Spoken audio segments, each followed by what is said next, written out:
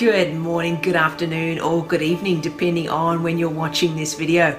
I'm Rachael Goldsworthy checking in with you with a quick video today in regards to Santa's letters.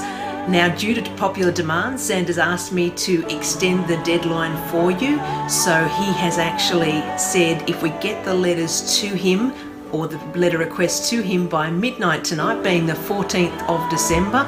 I know we said the 9th of December, but it's been extremely popular, and he would love to be able to send your loved one a special letter for Christmas. So if you get those requests to me online with the links that are attached below, we would be more than happy to forward those details on to Santa, and he will send you a letter personally.